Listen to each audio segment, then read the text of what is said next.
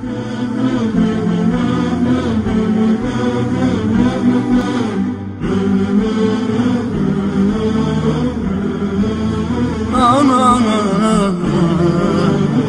alayhi salam, a prophet and a messenger. And as we mentioned, there's a difference between a prophet and a messenger. A messenger is someone that's higher than a prophet. A messenger is someone that's higher than a prophet.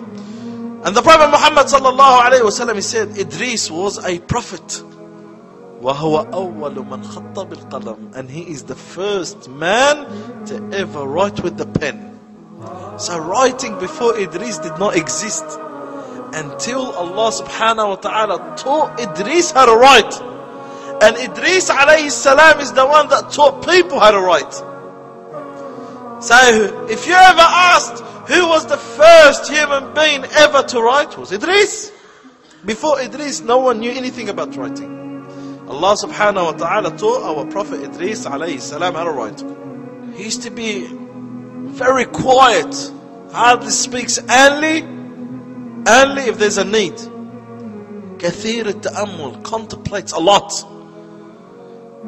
You think that he's frowning always because of too much contemplating thinking about the greatness of Allah subhanahu wa ta'ala, no doubt. One of the first things that ever came up with at that time was the tashri' of jihad.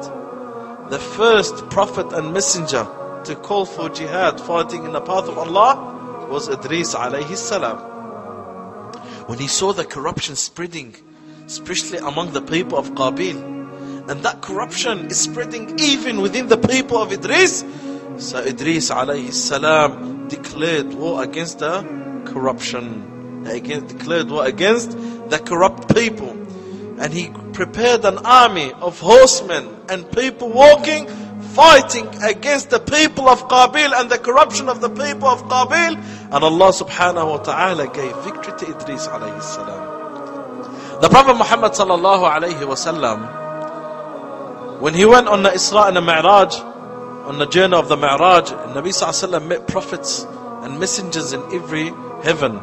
And he met Idris alayhi salam in the fourth heaven.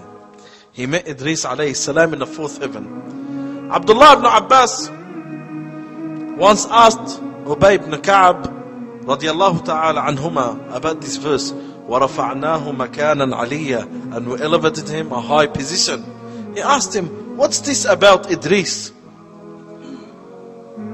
So Ubay ibn Ka'ab said that Allah subhanahu wa ta'ala revealed to Idris one day that Allah will give him the rewards of all the good deeds of mankind every single day over his own deeds, over his own rewards, over the good deeds of Idris, Allah subhanahu wa ta'ala will also give him the rewards of all the people living at the time of Idris. Allahu Akbar. And a great investment with Allah subhanahu wa ta'ala. So Idris thanked Allah subhanahu wa ta'ala for that. And he realized the only way to increase more rewards is to live for longer. And Idris had a good he had a good friend of the angels. He had one of the angels a good friend, a good companion to him. So Idris told this angel that Allah subhanahu wa ta'ala revealed to me that every single day I get all the good rewards and the deeds of all the people on the surface of this earth without, without my own rewards, and at the top of my own good deeds. So he said, Is there any chance that you could speak to the angel of death and ask him to delay my life and for me to live even longer? To get more rewards. Subhanallah, live longer and get every single day over my own, uh, over my own deeds and actions. I'll get the good rewards and hasanat of the other people. What a great investment.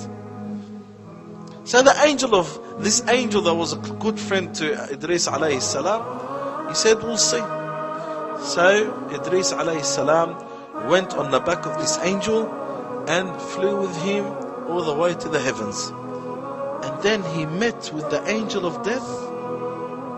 This angel, on the back of this angel Idris, this angel met with the angel of death in the fourth heaven. So this angel told the angel of death that Idris is asking that if he could make him live longer. So this angel of death said, where's Idris? He said, he's on my back. So the angel of death said, Ajib, amazing. Amazing. So the angel told him, what's amazing? He said that Allah subhanahu wa ta'ala ordered me to take the soul of Idris in the fourth heaven. And I wondered how I'm gonna do this. I asked myself, how am I gonna do this? Subhanallah. Allah ordered the angel of death to take the soul of Idris in the fourth heaven. But Idris lives on earth. How is Idris gonna get to the fourth heaven? So the angel of death said, amazing. Allah ordered me to take the soul of Idris in the fourth heaven. And I was amazed. How am I gonna do that? And subhanallah, Allah Azza wa Jalla made it happen. Idris came with one intention, angel of death came with another, and Allah subhanahu wa ta'ala only happened what he was. Only happened what he was. So Allah Azza wa Jal ordered the angel of death to take the soul of Idris in the fourth heaven, and Idris alayhi salam passed away, and his soul was taken in the fourth heaven. تذكر يوما كنت تعانق دمعة الفكر تناجي الله في صبر وترجو رحمة تسري فعاش القلب إخلاصا وصرت